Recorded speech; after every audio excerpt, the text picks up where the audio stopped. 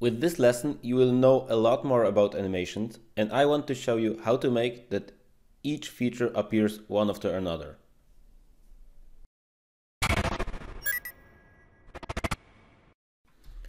We are set and ready to animate the slide.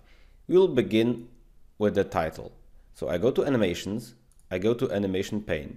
Since I copied this from the title, there is already an animation here, but I simply delete it. I hit the first one, I go to more entrance effect, and I would like it to peek in from the top. So I search for the animation, and as we see, it's there. I select peek in, I select the group, and in the effect options, I go from top.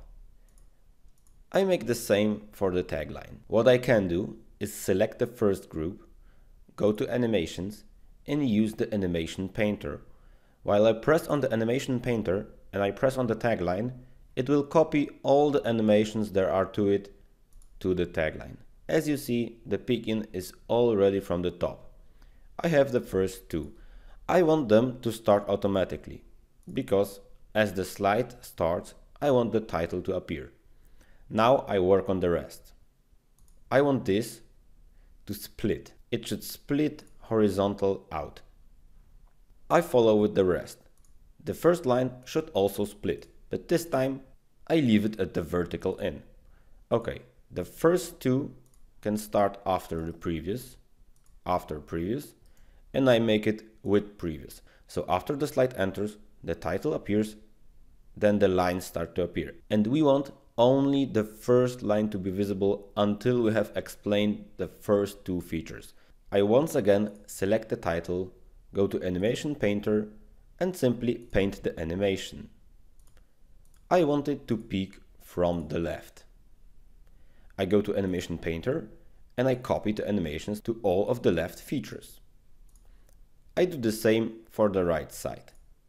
I select the first, I go to Animation Painter, I click on it, I click on the group, I select Effect Options and from the right. Right now, I simply have to select the animation painter and copy the animation over. Since I want the first two features to appear, I select the feature, I place it in the right, it's already placed right because after the straight connectors are appearing. So this time I make it start on click.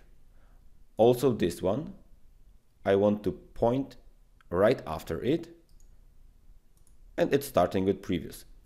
Then I want the middle line to appear and the second features start to appear. So I click on this straight connector, I go to animation painter and I paint the animation. Do not get confused, I make it one at a time.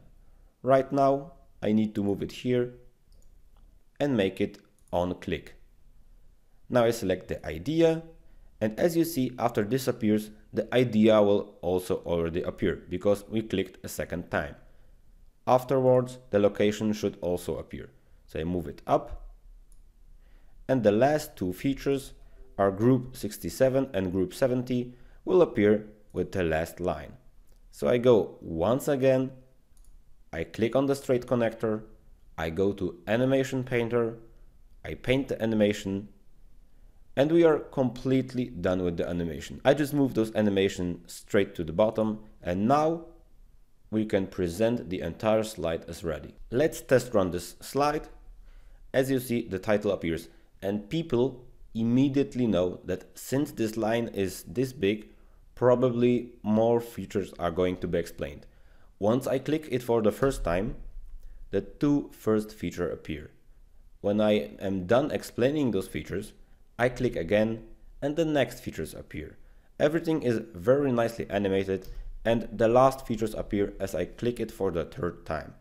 As we see, we could shift it a little bit so this won't be visible, but these are just minor changes to the slide.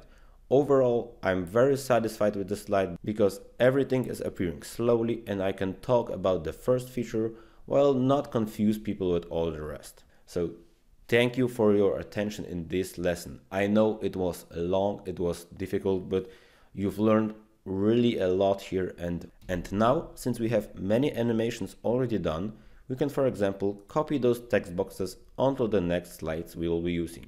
So I hope this was informative and see you in the next lesson.